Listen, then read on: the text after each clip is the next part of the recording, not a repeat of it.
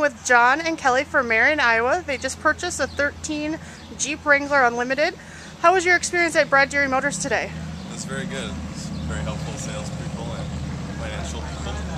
Have you compared the Jeep to any other vehicle while you were searching? We also uh, drove a Cadillac CTS. And you fell in love with the Wrangler more? Yeah, the Wrangler's a little more fun. Who gets to drive it home tonight? That's gonna be me. Well, I want to thank you both for coming down and welcome to the Brad Deery family. Thank you.